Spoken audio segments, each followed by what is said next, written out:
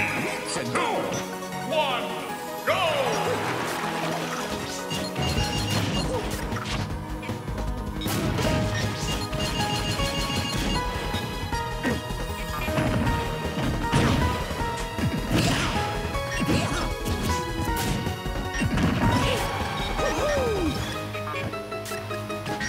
What?